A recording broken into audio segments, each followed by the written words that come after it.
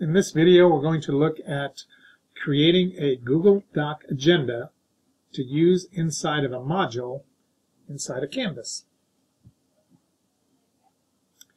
There's lots of ways that you could create a document, uh, Google Doc, to put inside of a module. I'm going to show you uh, an easy one that I've found and it has to do with this piece right up here, this extension. Uh, I'm going to click on the extension. It gives me the option to get a new document, spreadsheet, presentation, drawing, or form. So I'm going to click on Document.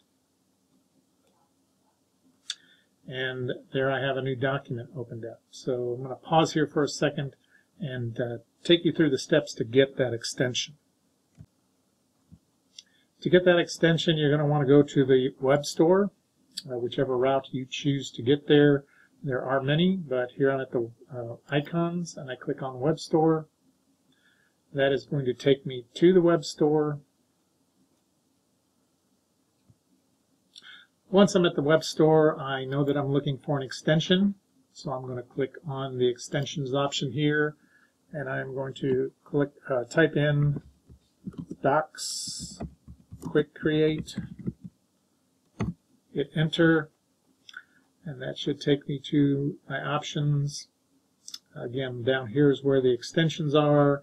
Google Docs Quick Create, you can see that uh, for me it's already added. And what you would do is you would click Add to Chrome and follow the steps on your computer to add it to your Chrome account.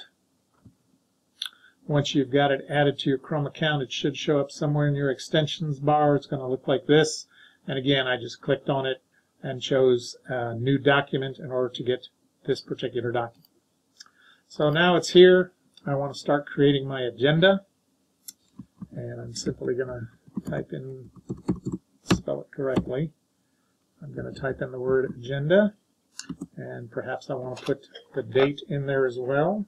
So let's go 9 slash 21 slash 16, and from here I can just start creating my agenda. So perhaps I would start with a bell ringer, uh, instruction, practice, and exit ticket. Could add homework and many other things, whatever your agenda for that day happens to be.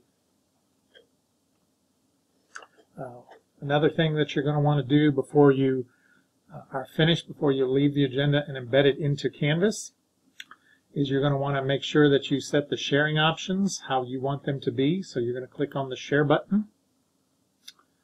Uh, give your document a name, so I'm going to give it the name that it chose for me there. That's fine. Now I can share it. So I go to get a shareable link right up here. And I'm going to choose this to be view only. Now the way that I'm setting it up is I'm just letting anyone at Anderson Community Schools view this. So any of my students who have an Anderson email address would be able to view this document. I have the option of letting them edit it, letting them comment on it, or letting them uh, view it.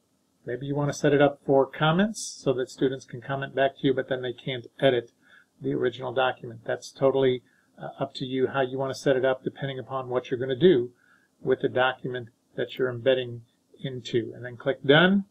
And now the sharing options are set. You don't have to do that again for this particular document.